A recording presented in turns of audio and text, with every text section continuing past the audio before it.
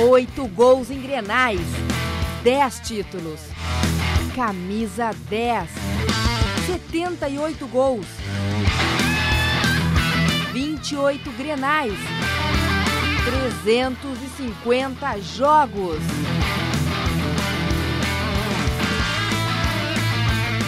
Não, não é pouca coisa.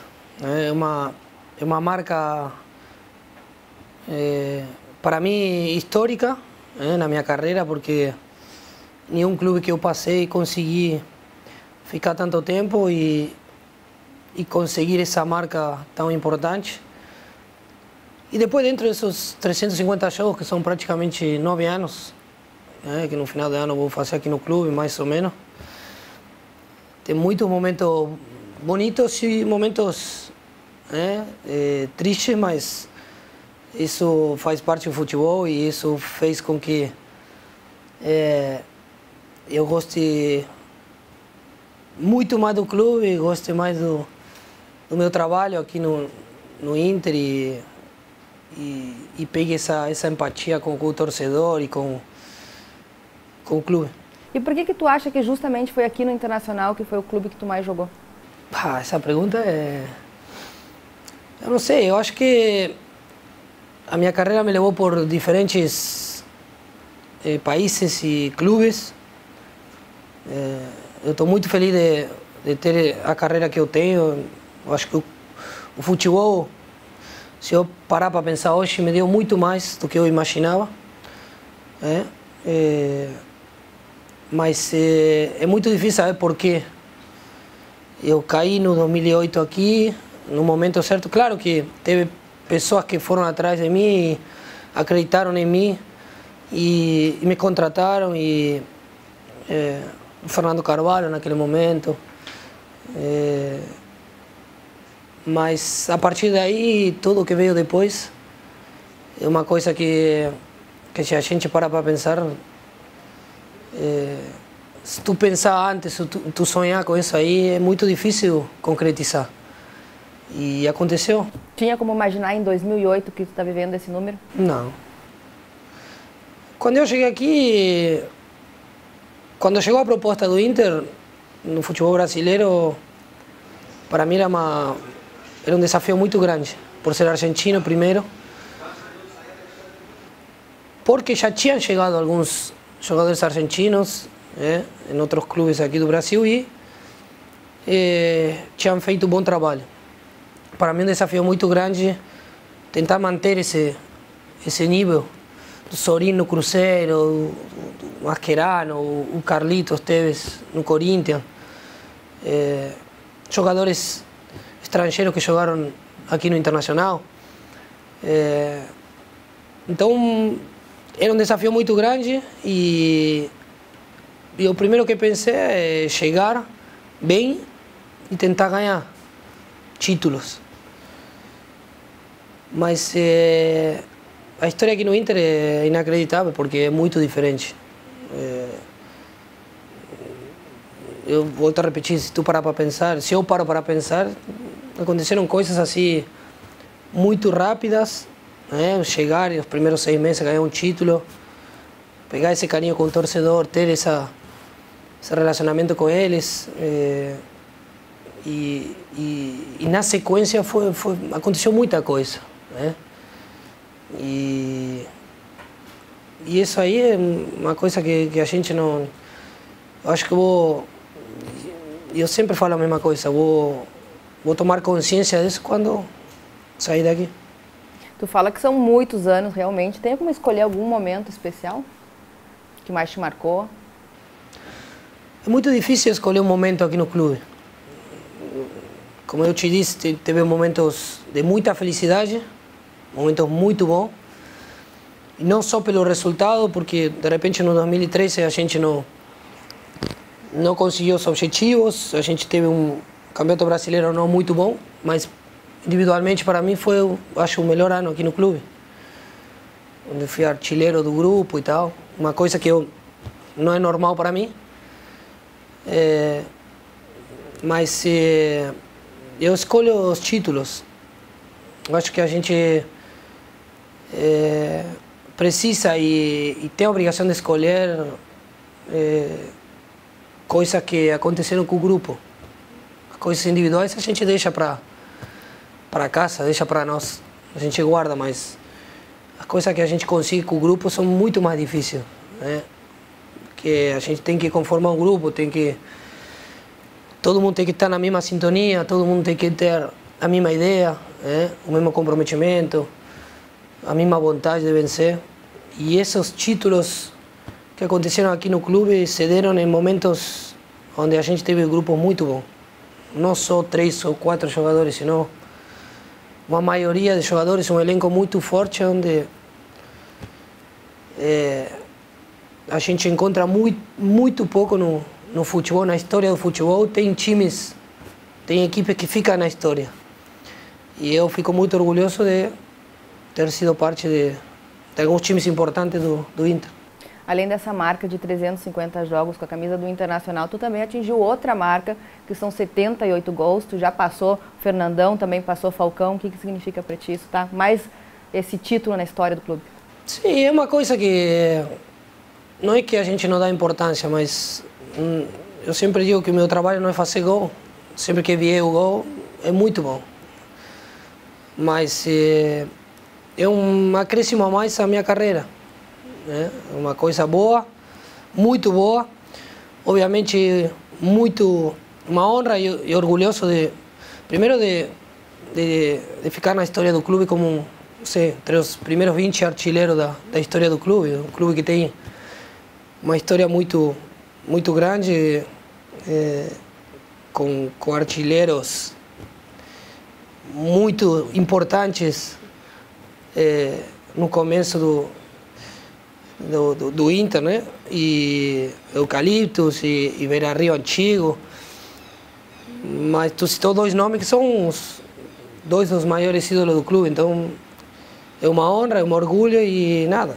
É, volto a repetir, é um acréscimo importantíssimo para a minha carreira. E, e todo se junta à minha história no clube. E nós, colorados, passamos um ano de muita saudade. Como é que está sendo para ti esse retorno? É, bom, bom, muito bom, muito bom. É, eu fiquei longe na Argentina, mas é, não foi fácil. É, a gente sofre é, longe do clube e, e fica meio triste pela, pela situação do ano passado. Né? Obviamente, é, a gente escolhendo culpados ou, ou olhando assim a situação, o menos culpado do grupo, sem ter convivido com eles o ano passado. É, o grupo tem que assumir a sua parte de culpa, mas o menos culpado do grupo. Então, é, acho que o torcedor sabe disso. A gente chegou num ponto onde nunca imaginava e a partir disso, é, erguer de novo o clube. A gente está trabalhando para isso. É, o torcedor sofreu bastante o ano passado. É, toda hora me chegavam mensagens da Argentina, torcedores do Inter viajando no jogo do River para assistir, esperando fora do vestiário. Acho que isso não tem preço né, que se pague. E e, bom, e agora erguer o clube de novo. Acho que ninguém imaginava isso aí. E a partir daí, voltar a trabalhar e voltar a vencer e colocar o Inter onde merece, onde nunca deveria ter saído. O Inter é muito grande como para é, para ter vivido esse momento, mas aún assim acho que faz é, faz o clube muito maior, é, essa força que tem o torcedor e a força que nós temos que ter para para voltar a, a Série A ano que vem. Tu voltou, poucos jogos, dois golaços, assistências, e aí virou especialidade? Não. Fazia tempo que o time não. Não, não.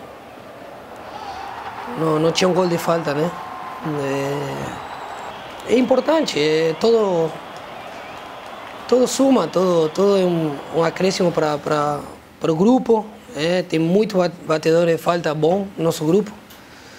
Ontem foi comigo, né? poderia ter sido com outro. Mas importante é que a gente vem fazendo um bom trabalho.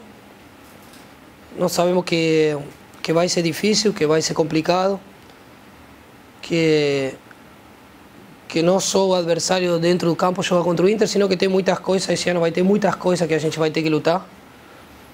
É, e que nós estamos preparados, nós estamos nos, nos preparando para assumir essa responsabilidade obviamente no campeonato mais importante desse ano, que é o Campeonato Brasileiro para nós. Tem entrevistas tuas, Dari, bem pequenininho, quando começou a jogar, que é um amor, contando e falando, que com uma convicção que tu ia ser jogador de futebol. Mi sueño es jugar en la primera de River con todos mis compañeros, poder llegar a jugar en esta cancha tan hermosa, el Monumental, y poder llegar a la selección, a la selección Tu realmente imaginava que tu ia chegar com 35, quase 36 anos jogando em alto rendimento, fazendo golaço de falta? Não, eu, primeiramente, eu não imaginava ser atleta de futebol. Eu tinha um sonho que era ser atleta de futebol, mas por causa de, de meus pais e, e da minha família. É, eu tenho uma família que gosta muito do futebol sempre gostou. E eles falam que eu apenas nasci, sempre peguei, queria bola, não queria outra coisa. Então, a partir daí, eles começaram a me levar e eu gostei muito do futebol. A minha lembrança são de muito cedo, com 4, 5 anos, jogando na rua ou, ou indo para o clube, meu pai me levando. Né? Graças a Deus tem esses, essas fitas né, VHS que que a gente guarda, tem esses vídeos que... Tá tudo guardado ainda? Tá, minha mãe guarda tudo. Ah, não deixa mexer com nada. foi, foi um, foi uma, um problemão trazer as coisas para o museu aquela vez. Ela não queria? Não que não queria, mas não vai perder. Ah, isso aqui. Ela pegou uma folha, começou a anotar tudo que eu estava trazendo para aqui. É, é, eu acho que uma, uma eu consigo devolver para eles tudo o que eles fizeram por mim. E eu concretizei o sonho de ser atleta de futebol. E eu volto à primeira pergunta que tu me fez. Se hoje paro para pensar, o futebol me deu muito mais do que do que eu imaginava. O futebol muitas vezes te, te dá coisas que tu que não, não que não tem preço. É um privilégio ser atleta de futebol cara que está chegando, que eu no final, de repente, os últimos anos da carreira, eh, se dá conta de que o que voltar 10 anos atrás, eh, isso é impossível. Então a gente começa a viver o, por minuto as coisas, começa a aproveitar muito mais porque o tempo passa voando. O Zago fala nas coletivas, além de muitos elogios, que tu é uma referência para os novos que estão começando. Como é que é para ti ser essa referência?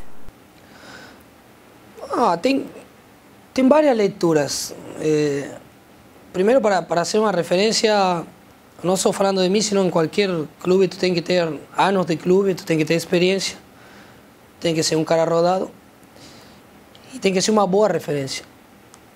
Né? Porque não só para meus colegas, sino para o pessoal que está, para o torcedor também. De repente, hoje, muitos atletas do futebol, não só no Brasil, sino no mundo, são um exemplo para várias crianças. Então, a gente tem que ser uma referência boa. A partir daí, é, tentar falar com eles, tentar ajudar eles, tentar explicar como a gente trabalha aqui no, no profissional. É, eles já vêm com uma base boa aqui do Inter, a base do Inter trabalha muito bem. Eles já vêm não 100% preparados, mas eles já têm uma, uma ideia de, de como se trabalha aqui. É, e a maioria deles tem cabeça boa, que isso é importante. Né? Eles querem aprender, eles escutam, eles se não sabem, perguntam. Então acho que isso é o principal como para, não só comigo, sino com, tem vários atletas hoje no, no elenco que são experientes, rodados, que jogaram na Europa. Então, a gente vai dividindo as responsabilidades né, dentro do grupo. E, e para que eles, uma vez que eles estão aqui no time profissional, porque difícil não é chegar no time profissional, difícil é se manter. Tu tem que mostrar aqui. Categoria de base é uma coisa, o time profissional é outra. Treinamento é uma coisa, jogo é outra. Então eles têm que têm que madurar e começar a crescer junto com a gente para o dia que, que o professor precisar deles estarem prontos. E tu com tantos anos de carreira, em carreira aqui no Internacional, tu acha que esse é o melhor início de temporada que tu está tendo aqui? Ah, não sei. É... Tá que nem o vinho melhorando? é que é, eu tô mais velho, né? É, por exemplo, comparado com 2013, 2013 foi um ano que eu não, não esperava. Não esperava a campanha nossa no, no Campeonato Brasileiro, porque a gente começou muito bem. Depois teve uma, uma queda importante. Chegamos no final sofrendo um pouquinho. Mas individualmente foi muito bom. É... Eu estou bem, eu, eu, me sinto bem. É... Eu me preocupo muito pela minha parte física. Né? Que o cara que começou a andar de bicicleta com três anos não esquece. Por mais que ele tenha 60, 70, não, não, nunca vai esquecer de andar em bicicleta esquecer jogar futebol eu não vou esquecer nunca. Mas com o decorrer do tempo, tu fisicamente tu vai deteriorando, entendeu? Tu vai vai tudo custa um pouquinho mais, tu tem que fazer um reforço, tem que treinar um pouquinho mais, tem que te cuidar, tem que ser mais profissional ainda. E meu foco é esse. Depois dentro do campo a gente resolve, a gente se puxa, a gente assume a responsabilidade, se esforça, dedicação, personalidade para jogar. Mas fisicamente é o que, que eu me preocupo mais porque obviamente quero tentar jogar a maioria dos jogos desse ano, né? ser útil, útil para o grupo e para, para o treinador e poder contribuir com minha minha ajuda para para que no final do ano a gente esteja comemorando. Tem planos para o futuro, Dali? A gente vai se preparando, eu vou me preparando. Eu estou me preparando, já fiz o. Estou no segundo ano do curso de treinador. Né? Vou me. Vou. Vou, vou acabar o curso no final do ano. É teu objetivo ser treinador? Olha, eu aproveitei o tempo na Argentina com a família e com amigos e fui fazer o curso. Acho que não, não atrapalha nada, ou não atrapalhou nada meu tempo com a família, na minha carreira, no meu dia a dia e consegui fazer. Hoje estou fazendo online. Final do ano já tenho o título de treinador. Professor da Alessandro. Não vai ser fácil, né? Mas é, pelo menos já a gente já ter jogado futebol não te dá todo o conhecimento que tu precisa. A gente conviveu no vestiário com muitos atletas, aprendeu muito, eu aprendi muito com, com muitos colegas que passaram, que jogaram comigo, é, que me ensinaram, que me, é, me ajudaram muito quando eu cheguei. E a gente vai juntando conhecimento, mas estudar a gente tem que, tem que estudar porque faz bem e, e a gente é, continua ou aprendendo coisas que de repente o vestiário não, não te dá. O vestiário te, te dá uma experiência muito boa. Né? Te dá uma coisa que não todo mundo tem. Né? Que é a convivência do vestiário, o tratamento com os atletas, com o diretor, com o treinador, com os empregados. Isso aí é muito bom. Mas a gente tem que aumentar o seu conhecimento, pelo menos lendo alguma coisa. Certo. E tu pode dizer que tu está no lugar certo? Sim, desde que eu cheguei, eu sempre estive no lugar certo, né? Eu sou... Eu falei quando, quando saí do clube que, que era um até, até logo, né? Não era um adeus porque... Primeiro porque eu tinha contrato com o clube, segundo porque... Se bem eu voltei no clube que me revelou e que... Clube que me, me disparou no mundo do futebol, que me, deu, me abriu essa porta, que foi o River. É, voltei e graças a Deus cumprir esse objetivo, que foi ser campeão de dois títulos. Uma coisa também que nem pensava. Eu só queria voltar, voltar bem, após 13 anos de ter saído do clube e, e mostrar que eu estava bem fisicamente, que eu, que eu poderia jogar na Argentina, após tantos anos de ter saído. O outro já foi um plus que a gente conseguiu. Né? E, e hoje estou no, no lugar certo. Hoje estou no, estou na minha casa. Eu tenho duas casas no futebol, né? O River e o, e o Inter. Só que aqui são muitos anos. É uma coisa muito diferente. É, é, é difícil explicar. E o carinho com a torcida Dali, porque parece que só aumenta, né? Já era enorme, parece que só aumenta. É, a torcida, eu estou muito agradecido com eles. É, eu, 2015, eu sofri um pouquinho porque quando o pessoal duvida de ti, quando tu te esforça, te dedica ao máximo, tu treina, que o futebol é muito resultadista, né? Só resultado. São muito muito pouco é, torcedor ou, ou, ou, muito pouca gente enxerga o esforço de repente sem deixar de lado o resultado. É, não triste, mas sim algumas críticas do torcedor colorado e mas isso me deu muita mais força. Né? para mostrar meu trabalho na Argentina e para hoje voltar e poder mostrar de que